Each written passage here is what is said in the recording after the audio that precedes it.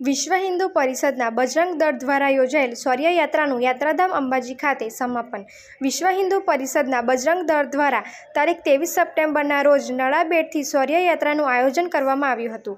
યાત્રાધામ અંબાજી ખાતે આ શૌર્યયાત્રા હિન્દુઓને જાગૃત કરવા અને એક કરવા માટે તથા સામાજિક સમરસતા માટે તેમજ યુવાઓ વ્યસનોથી દૂર થઈ દેશ માટે એક થઈ કાર્ય કરે તે હેતુથી કાઢવામાં આવી છે.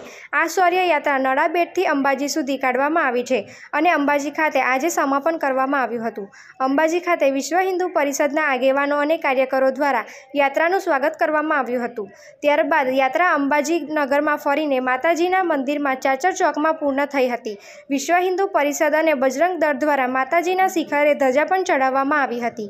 આ શૌર્ય યાત્રામાં સાધુ સંતો મોટી સંખ્યામાં જોડાયા હતા. તેમજ વિશ્વ વિભાગ મહામંત્રી પ્રભુદાસ મોદી, જિલ્લા સંયોજક બજરંગ દળ સંજયભાઈ માળી, વિશ્વ હિન્દુ પરિષદના પાલનપુર જિલ્લા અધ્યક્ષ દલસુખભાઈ અગ્રવાલ, જિલ્લા ઉપાધ્યાય જેપી મહેશ્વરી તથા જિલ્લાના અને અંબાજીના કાર્યકરો મોટી સંખ્યામાં ઉપસ્થિત રહ્યા હતા.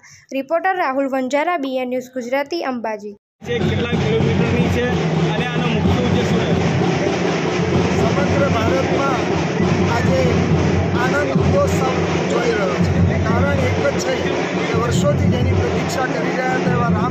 ઉદઘાટન ઉદ્ઘાટન પ્રતિષ્ઠા ચૌદ જાન્યુઆરી પછી થવા જઈ રહ્યું છે. ત્યારે ભારતનો યુવાન સૂર્યવાન બને પરાક્રમી બને, સેવા કરતો થાય અને સંગઠિત થાય એ હેતુથી વિશ્વ હિન્દુ પરિષદ બજરંગ દળ દ્વારા સમગ્ર ભારતમાં સ્વ બજરંગ દળ શોધ યાત્રાનું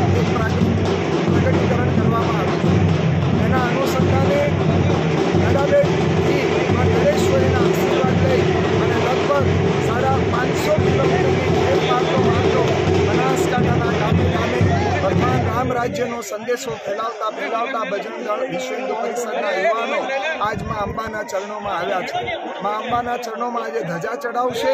મા અંબાના આશીર્વાદ લેશે કે આ હિન્દુ સમાજને સંગઠિત કરવામાં ઊંચ નીચના ભેદભાવ સમાપ્ત થાય, સમગ્ર સમાજ સમરસ થાય. આ દેશનો યુવાન, આ દેશની નારી, સન્નારી બને. દેશનો યુવાન સંગઠિત થઈ, સમાજ સેવક બને. એ જ માત્ર ઉદ્દેશ છે.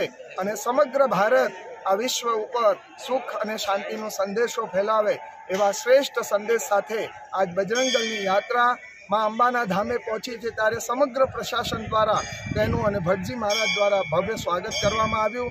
અંબાજીના નગરજનો અમારા પ્રખંડ મંત્રી અમારા નગરના ખૂબ શુભેચ્છકો દ્વારા આ રથ શોભાયાત્રાને ખૂબ યાદ કરવામાં આવી છે. અસ્તુ ભારત માતા કી પ્રભુદાસ મોદી વિશ્વ હિન્દુ પરિષદ વિભાગ મંત્રીનું દાયિત્વ. Thank you.